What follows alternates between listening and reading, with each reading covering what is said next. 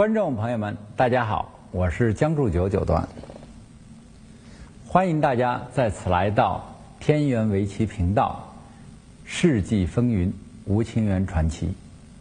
我们给大家带来的依然是吴清源少年时代的传奇故事。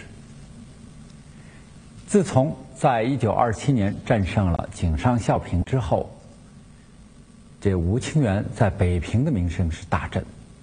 同时，也吸引了很多全国的好手来到北平跟吴清源交流。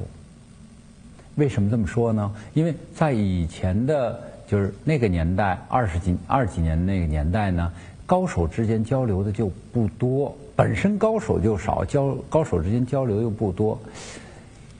怎么说呢？就是说，一没有正式比赛，光是自己交流，以前的人是讲棋份儿的。已经成名的，我们看到资料，比如说顾水如先生，他跟其他棋手的交流就相对要少得多。从棋谱上来看也比较少，除非有什么比赛来出来下，因为这个可能也跟当时这个受日本影响有关。就是两个高水平的，如果要是没有什么应有就下一盘的话，这种情况。一直延续到解放前都是比较少见的，一定是有某一些人赞助出来，那么想看，那么才出来下。这个可能跟当时就是棋手的生计还是有关系的。越是交流少，越是水平不容易一起进步。但是有了吴清源之后就不太一样了，这个孩子乐意跟人下。嗯，有彩金，有彩金下，无彩金也下。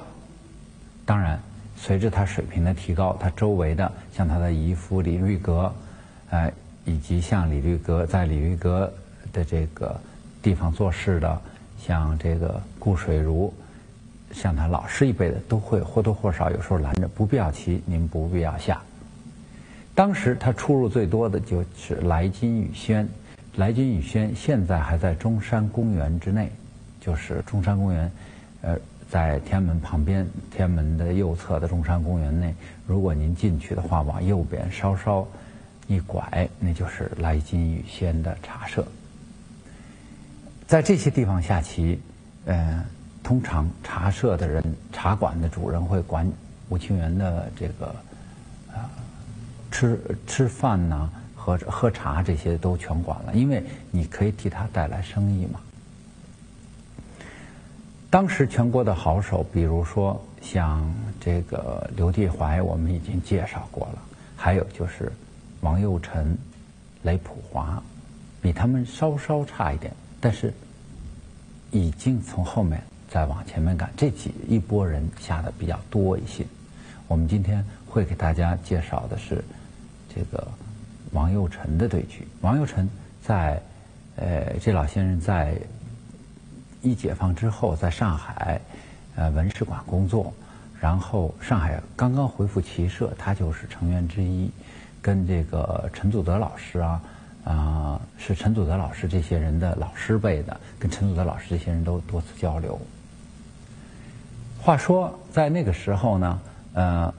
光有这些棋，对于吴清源来说还是不够的，因为他二七年他的成绩是最好的，当时让先就是对下能赢日本高段的只有他嘛。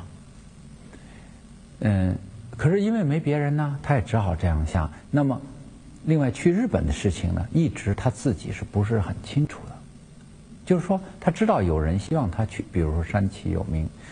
但是他自己家人呢，一直定不下来，就是周围这些朋友和亲戚，比如说像李律阁呃这样的亲戚呢，他觉得你去日本去看不出一定好啊。先不说去怎么难，第二看去日本去生活怎么办？尽管听说职业棋手的生活不错，可是这个当时的局势跟日本关系是相对紧张的，嗯。而李律阁无论是皖系执政，就是段祺瑞执政期间，还是张作霖入主北京执政期间，他跟他们关系都很好。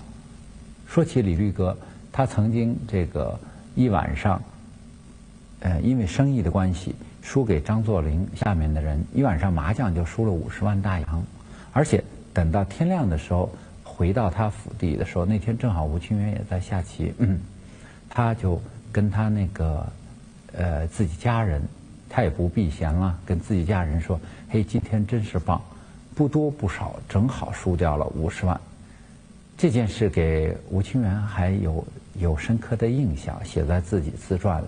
为什么说这是特别棒呢？因为这五十万实际上是当做一种贿赂，使得他能够拿到现在北北平现在的北京，就是当时北平南园的一块地，非常大的一块地。这是他这个行贿的一种方式吧，交际的一种方式。这事儿呢，还正好被。吴清源给赶上了。另外，吴家又为吴家这些子弟呢，请到了一位啊，类似这个监护人一样的，叫杨子安先生，国学比较好。呃，他的意见也不是赞成吴清源去的。看，日本方面且不说要去的话，困难困难重重，而中国方面这些亲戚朋友在这个。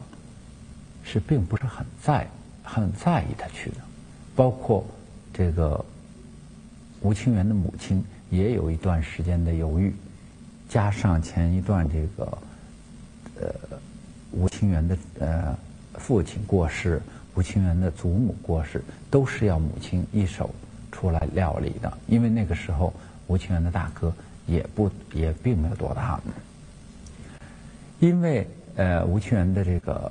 家境最困难的时候，这就是像旧时的家庭容易想到的事是什么呢？就是去卜卦，就是算一卦。嗯，当时算卦得出来的一句诗句，这个吴清源一直记了一辈子，就是哪一句呢？就是这个山山穷水尽疑无路，这个风送帆来又一天，就是这一句。这个直到呃二零零六年新年我去看吴老师的时候，我们还说起这一段来。当时大家都觉得，就是说以后总有办法，但是没想到后来跟去日本的事情呢，吴老师觉得简直是暗合嘛。话说北北平当时是这样的一个环境和局面，吴家是这样在做准备，啊，就是还没有做准备，因为觉得去日本未知的。因素太多，那么我们再来说日本赖月老师进行到的程度。赖月老师在上集我们提到了，想到了吴要接这个孩子来，嗯，这个愿望非常强烈，但是没想到由山崎有名提出来的各种具体的困难呢要实施的话呢，这个还有很多问题。首先想到的外交上问题，所以他去找了全养义。那么，政治家全养义，嗯，在考虑在听到这些事之后呢，紧跟着就问了赖月说：“如果这个孩子来了，真像你所说的才能出众，光呃这个光大其道，那么你们这些人怎么办？”赖月说出了让人感动这个奇界，感动很多人很长时间的这句话，就是说这正是他所期望的。之后。全阳又问他：“那你经济上怎么办呢？”我可以意思言外之意，我做的是政治上的保证。那么你经济上呢？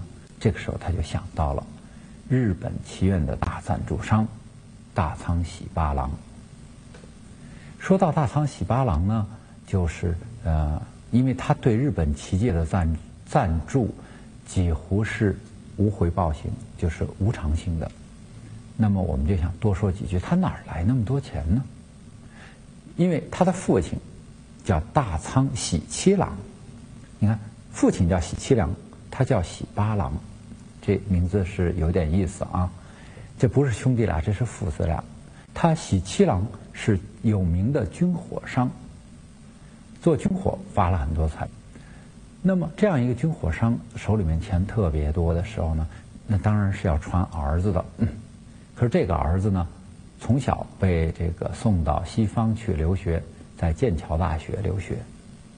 他从剑桥大学回来的时候，就带着当时最名贵的跑车，四五辆法拉利。嗯然后回来之后呢，他喜欢的呢不完全是赚钱，是呃音乐、艺术，包括围棋。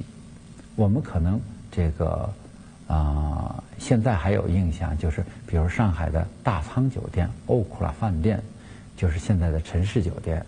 这个还有北京也有他们这个大仓集团的酒店，这些都是大仓家家族的事业。那么再说到。东京国立竞技场，这也是大仓家捐出来的。他是这样一位，就是呃，对对这些艺术、文学艺术，呃，特别有兴趣，喜欢公益、做公益活动的人。跟他的父亲曾经发生过冲突。有记载的一次是说，他父亲说：“你简直不像我儿子。”他而大仓喜八郎说：“你那么多钱，如果不是靠我，怎么花得出去？” 这当然是听上去像是佳话似的。无论怎么说，这个大仓喜八郎对日本棋院在日本这个东京大地震之后提出的恢复设想，由他来出资，而且他当时每年拿出十万块来给这些棋手们作为普基本的底薪，这一个壮举呢，就赢得了当时棋界人的普遍尊敬。那么。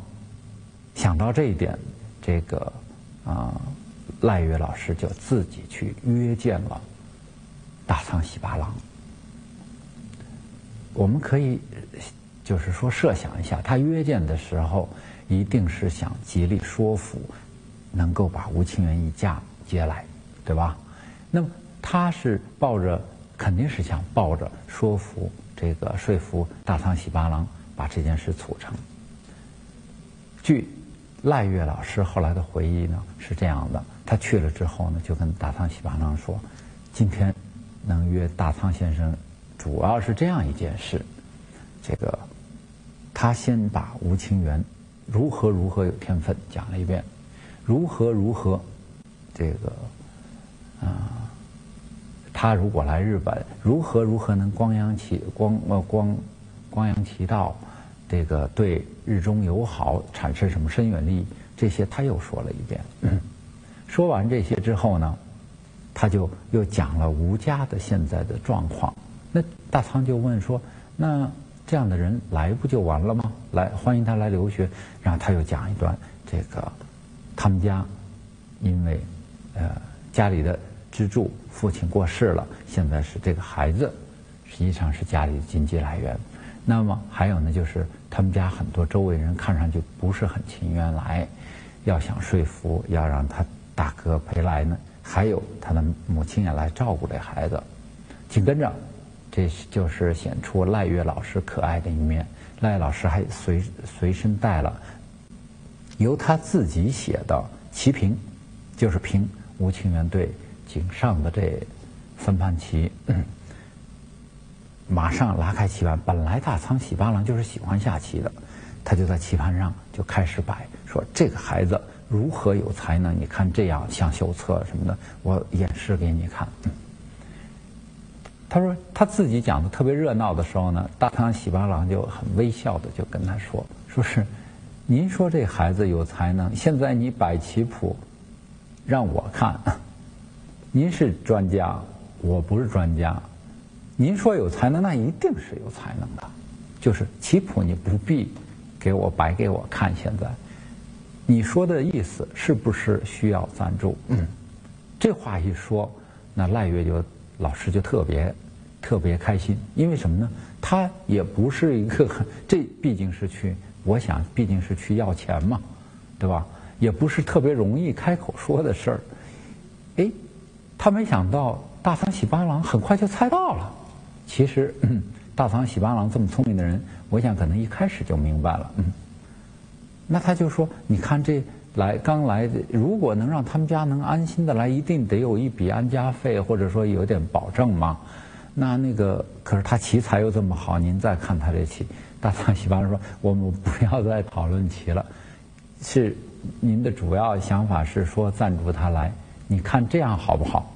你既然。”赖月老师也没有准确的数字出来嘛，大仓主动就说：“您看这样好不好？我们把他们一家三个人，就你说的这样，既然他是这样天才，我们接他来来日本。如果前期有这个经费问题，你看这样合适吗？接来的费用我们出，那么我们再给我再资助他每个月，每个月给他两百块日元。两百日元的概念是什么呢？当时日元比大洋要低，但是低的不多。我查资料看是一比一点一啊，一点一点可能一左右。就是说，相对应的是日本大学生毕业到报馆的工资是五十几元到六十元左右，一个月给吴清源家资助费两百元，为期两年。大仓说话非常快，就是这个条件完全不是赖月去想的时候想到的，而是大仓自己说出来的。这一下让这个赖月老师非常感动，就是呃对他深深鞠一个躬，说：“先生您真是做了件大好事。”哎，这个大仓说：“这个是你说他，你说他是个大天才，对吧？”那个，然后你只是来找帮助，我给你提，你说可以，那就可以了，就 OK 了。是棋谱，你也不要再摆了。那个这个人的奇才当然是由你决定的。这个呃，赖月老师，然后话题就转到别的地儿去了。赖月老师对这个呃记忆一直特别这个记忆犹新，特别在自己书里面提到过这一段，嗯，非常高兴啊。没想到这么难的一个题，这么难的一个问题，居然就解决了。嗯，这个呃，有钱这就好办事啊！这是我说的啊，这可不是赖月老师的感慨。就说，那他赶紧写信，就把这个信，他觉得解决了一件大事，就赶紧报告跟这个山崎有名啊通报，这赶紧行动起来吧！你看这个山崎有名。接到这信也是特别开心，但是他还没有不像赖月老师那样，他这时候山崎有明才意识到，因为吴家周围人的反对，这时候他还要再说服说服这个吴家人，就是说你到了日本之后，你跟谁学棋啊？山崎有明一直以为就是赖月老师答应了，就是跟赖月老师学棋，哪里想到赖月老师紧跟着通信是说，我给你解决了。外交上的事情就是来的这些打通了关系，经济上我也解决了，但是我不能收这个学生，理由是什么呢？还不是谦虚，他说我的棋艺还不是最高的，他的棋我教不了，一定要找最高的人来教。当时名义上的最高的那就是秀斋，这是山崎有名不太乐意的。嗯，这个根据各种传说，根据各种了解，他觉得。论人品，论这个一定是赖月老师最好。就因为这个，双方又来回交叉信件，来了几次，最后山崎有明自己说跟赖月说，如果先生不答应做他的先生的话，那这件事很可能吴清源他们家不会去。这赖月老师才答应做，才由山崎有名跟方泽就当时驻北京的公使去跟杨呃吴家人再说。再说，最后周围的人反对的情况之下，吴清源的母亲自己拍板说可以去啊。既然人家这么热情，既然人家这么有诚意，吴家这个尽管这个下围棋在他的概念里不是个职业，但是这可以值得一试。由此才把去日本的事，在二八年的时候定下来。定下来之后，还有个问题啊。就是在这个呃谈妥所有这些之后呢，北平方面是呃是要呃希望赖月老师能够只再来进行考察一下这孩子。大仓他们也有这意思，说赖月老师您要去考察这孩子是不是如传闻所说这么厉害？赖月老师这个真正是很疑惑的，疑惑在哪儿呢？疑虑的，就是按照棋份来说，他是七段，他来要让吴清源三个，他知道那是没有希望的。那么让两个，赖月老师倒不怕输，赖月老师想让两个他也赢不了吴清源，他觉得输面也大，他倒不怕输，他怕的是万一吴清源输了的话，就不肯来了。这他想到了一个折中的，派自己的大徒弟桥本宇太郎来。一方面呢，他也希望吴清源继续在北平，就是呃钻研棋艺，跟把这些跟厉害棋手下的棋通通借给他。这就是在这个时间内发生的一些事，而在这个期间内，吴清源的技艺又有了新的提高，对国内，对当时国内的一流好手，都是可以说他占优势的手舵。他尽管有输，比如说跟刘地怀，他是两胜一败，而拿白棋，拿白棋的手多，而吃黑的时候呢，基本上不输。我们现在来看他跟王佑成。这个先生的对局，我们也可以能够从中看出当时中国一流好手的水平。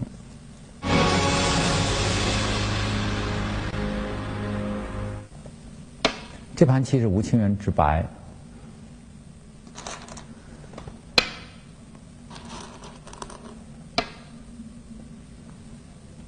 黑棋上来就守了一个角，而白棋下的就是。更加活呃活泼一点。所谓为什么我用活泼呢？就是你看它不是小目对应，它是高目和目外这样的棋呢，变化更多。就是无论是这个黑白双方都比较难以掌握。说通俗一点，没谱嘛。这样的棋谱上很少见，嗯就全靠自己的灵机发挥。这样的拆我们已经看过几次了啊！白棋再守回来，为什么白棋守左上这角不守这个呢？就是白棋期待，如果你再挂呢，它可以直接飞压你，让你很难受，全部到低位了。这个王佑成当然也不是，也是一流好手嘛，当然不会中这样轻易的套路。就从上面来选择的是这样的定式，由此也能看出，就是王佑成也是布局上也学习了很多现代布局，也是很有水平的。从这面分完之后再走这个，不知道大家随着我们这个呃。天围棋频道这呃世纪风云就吴清源传奇这个系列，看有没有发现？一开始从我们介绍一九一九年的对局的时候，那个时候啊那么多故事，那时候还有座子，包括吴清源老师最小时候跟汪庸分下的时候，我们介绍的是座子。那从现在开始呢，后来这个一九二几年对局呢，大家已经渐渐的采用了日本最新式的这个对阵。就没有作死了，这实际上在棋史上也是个重大的改变。等于我们也就顺便介绍到了。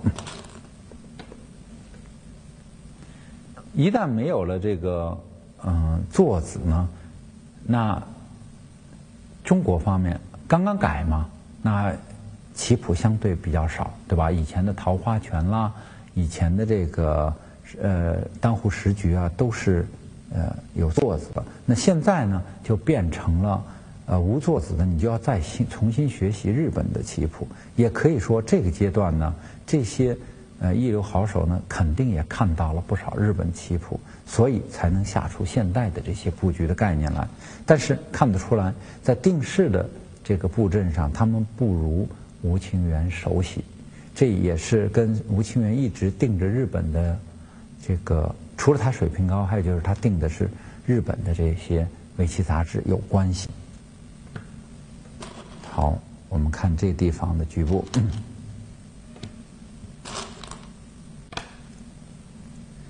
本来白棋是长的，但这个局部要长肯定是不对的，因为黑棋这面有子，这样长呢就会陷入非常被动的局面，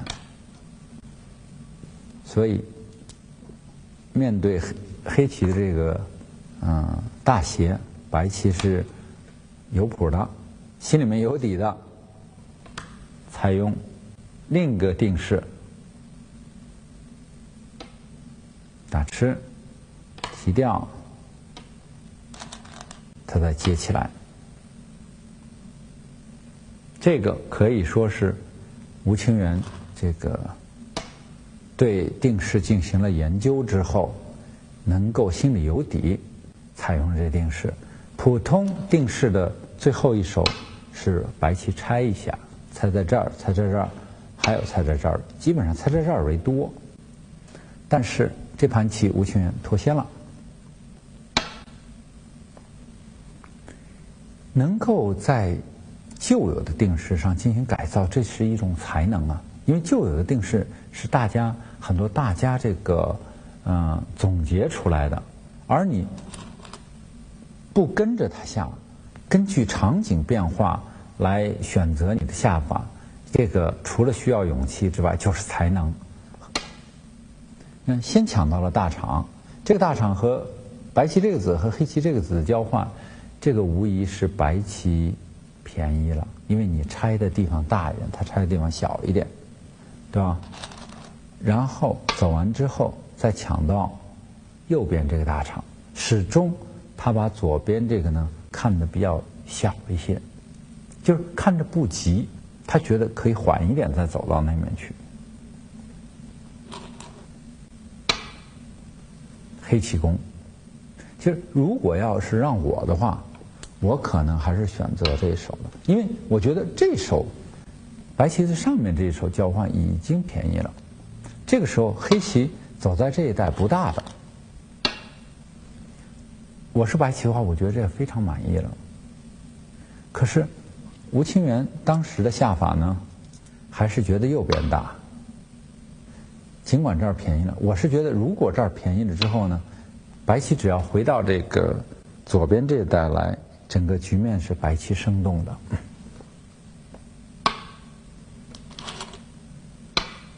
跳，因为这步跳还是挺大的，这一带显得有点重嘛。但下一步的，在黑棋跳了之后，白棋这靠是好棋，白棋长，黑棋虎的时候，白棋紧紧逼住，这个紧逼显示了吴清源这个。嗯，重视实地是非常要紧的一手。这也可以看出，就是他为什么迟迟不在左边落子。直白的说，我觉得左边大。但是在他已经放弃了左边之后呢，他的下法还是不错的。那么黑棋的下法是不是能够有值得商量的地方呢？比如，我觉得这步可以考虑退，因为你再压我的话。我再继续跳，直接往你那边那边走。还有就是搬了一下之后呢，走在下边也是可以考虑的。为什么呢？因为你断我的可能性不大，对吧？你断我的话呢，我一个是我可以考虑这样跟你下。你要想吃掉我的话，你得再吃我一下。这就比较酥，或者说你尖，我从这儿打出来，就是说黑棋有可能从这儿考虑包掉你。那么还有一种呢，就是你转的时候，我干脆打了你，这样接住。但是黑棋可能这些都不是太满意，所以黑棋采用呢，采用了最比较笨的笨拙下法，就是虎一个。白棋在紧逼住，黑棋飞，黑棋这步飞，嗯，值得商榷。啊，其实上面飞一个也挺大的，下面飞为什么我觉得看小呢？因为这带还还漏着风，因为黑棋飞了之后，让白棋这个打特别舒服，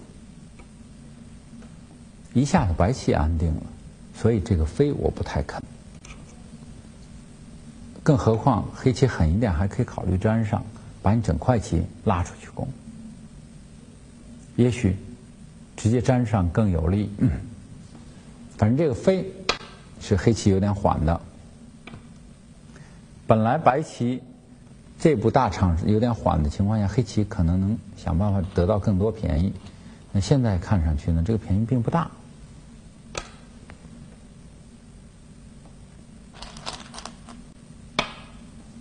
反而被白棋这儿整了，找到了一个先手。这个是，嗯，黑棋有不满的地方。倒回来我们说，如果整个局部轮到黑棋先下，那么黑棋还不妨干脆走这种最普通的，我就摆个拆二。那么，如果你不肯，你要紧逼住我呢，我这跳起来，使得白棋也没那没有那么好的棋形。你出来。我还可以这样对你进行围攻。好，这是现代布局，就是定式之后的下法。在定式之后呢，嗯，可以说黑的没有下出最充分的手，被白棋逼住。那么白棋还是弥补了，它多多少少弥补了它缺陷。你爬的时候，白棋又抢先把这个飞，这个飞挺大的。因为飞了之后，此消彼长，就是这面消掉了它的一些形式，而这面长起来了。黑棋从这儿开始，我们看有一点点跟着白棋的步调走，就是怎么说呢？就是白棋走到大的时候呢，黑棋立刻来消；白棋走到大的地方呢，黑棋要立刻走一个小，呃，比它要小一点的来防守。就是说，你的思路跟着白棋在走。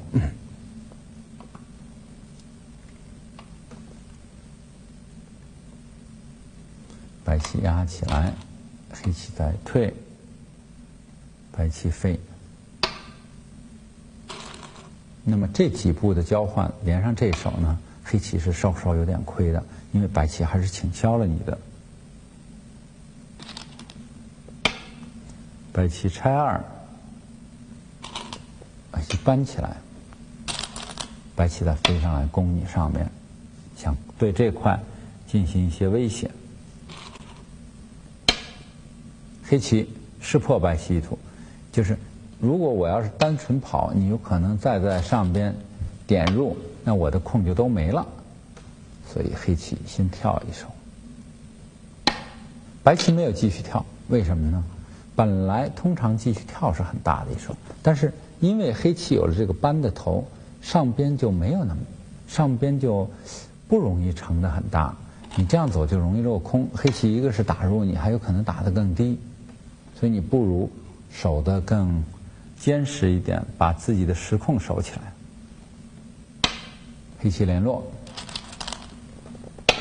这两步小飞体现了吴清源对实地的敏感。就是尽管一开始是张氏的棋，但是棋行棋局行到这儿的时候呢，他已经明白就是，嗯，实地在本局面下实地更加重要。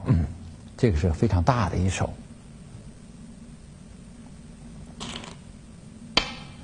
黑棋争取把下边围起来。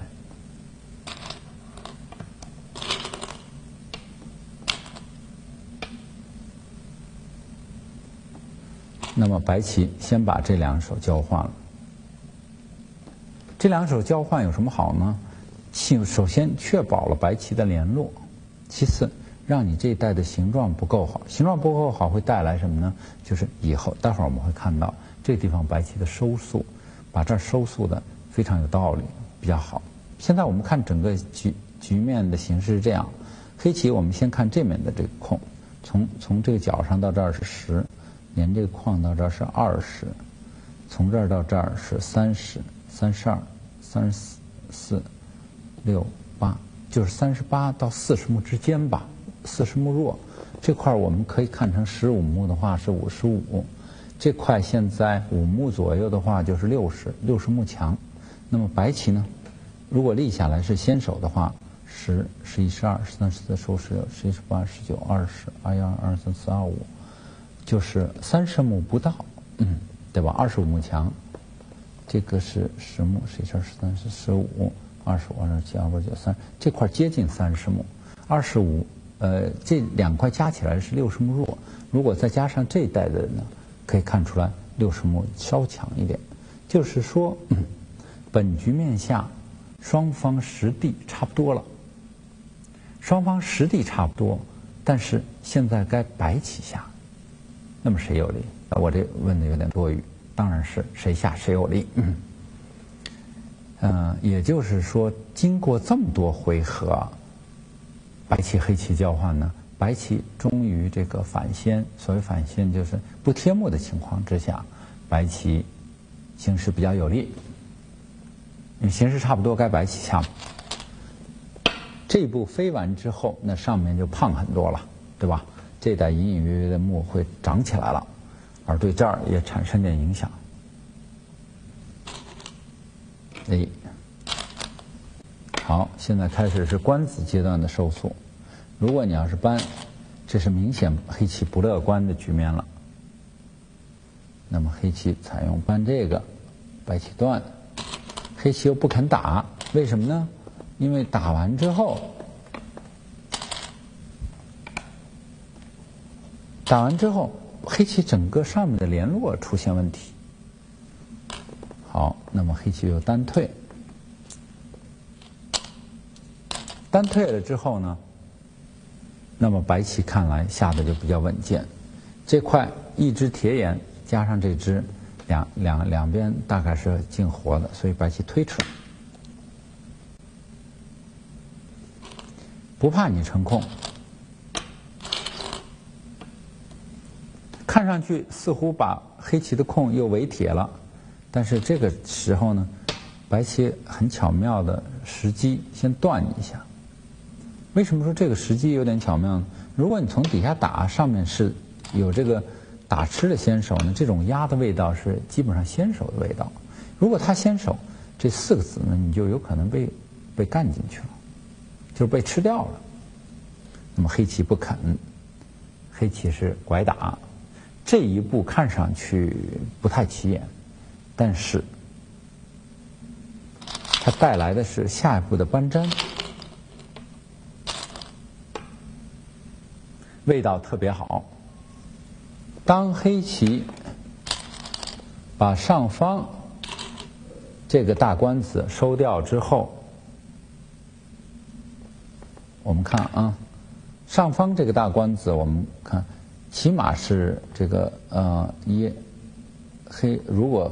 白棋吃掉的话，白棋这一二三四五，那么黑棋吃呃黑棋吃掉的话也是五，基本上实木墙，实木还带这个断的点。嗯，黑棋走掉之后呢，白棋立刻补了一手，威胁着，就是下一步直接分段就跨在这儿。其实照我看呢，你直接跨出来，黑棋也很为难。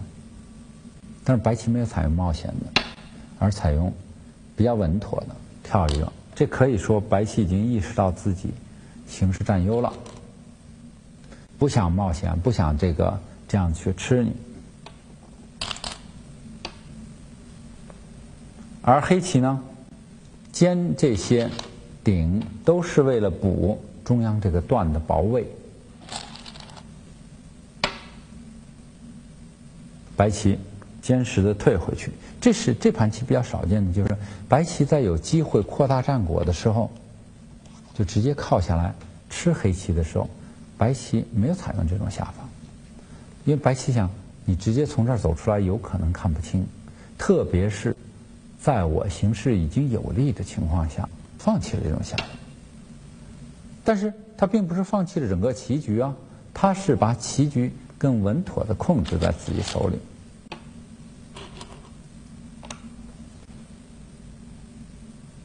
就是怎么说呢？看这几步这代的交换呢，容易让我们容易让我想起来什么呢？想起李昌镐。当他优势之后，不是像很多局面，我干脆再杀你一块，你你有宝气。他不是，他是小心又小心，非常稳妥的把局势导入到自己的步调里，就像这样的步调。我已经不再求扩大战果，你稍微便宜点我没关系，我能忍忍耐。因为这个局面还是被我所控制。白棋采用的就是这样一种下法。现在白棋回到了这个家，黑棋得力啊！你要这样的话，这度过打吃太大了，对吧？什么空都没了，所以你一定要立。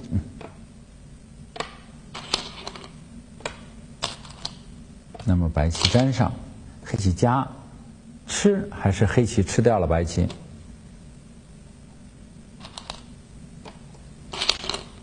并不是说白棋出大棋了，是白棋在这儿收速。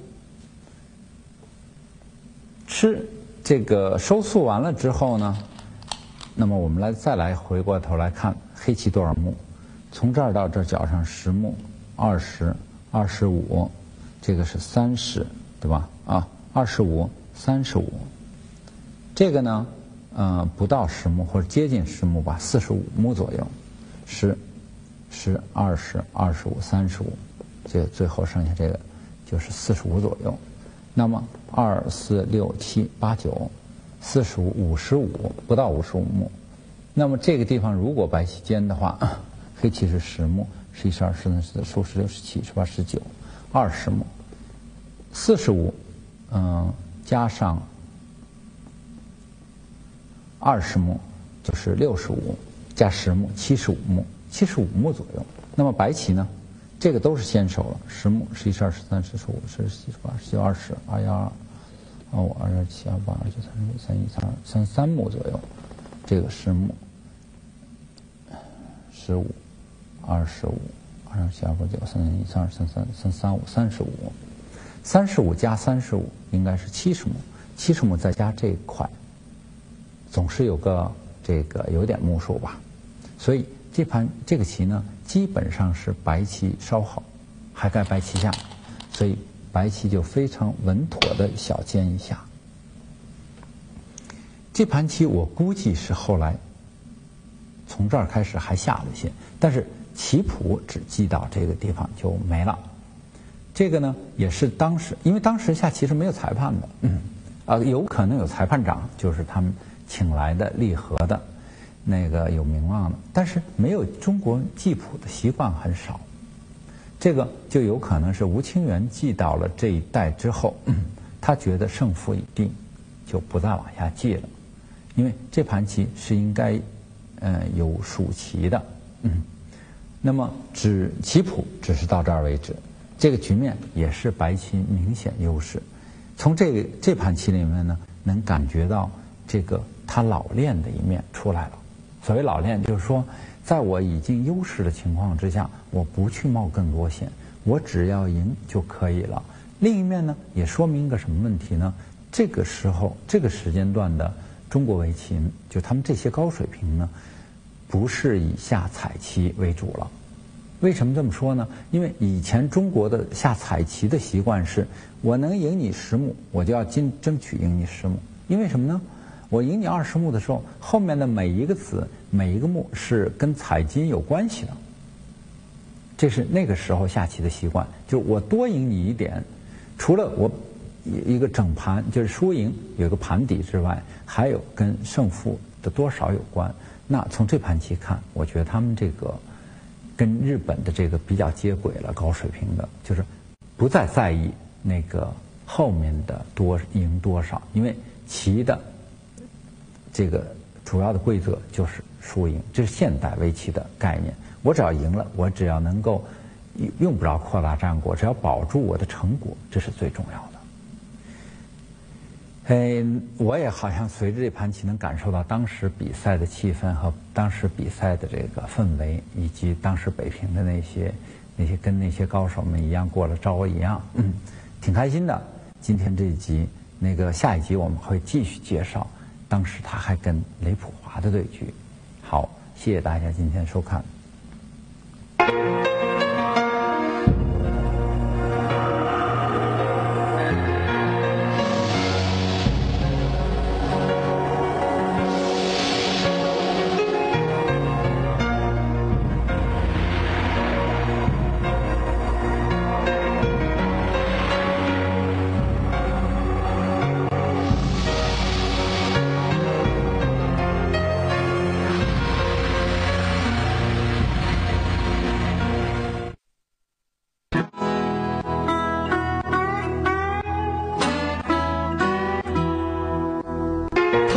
是年少成名的围棋神童，他是横扫日本棋坛的昭和棋圣，他也是开创新布局革命、倡导二十一世纪围棋的围棋泰斗。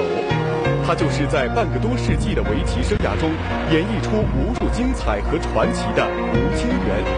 让我们一起穿越时空的隧道，通过回顾大师的心路历程和精彩瞬间，来重现那段奇谈的不朽传奇。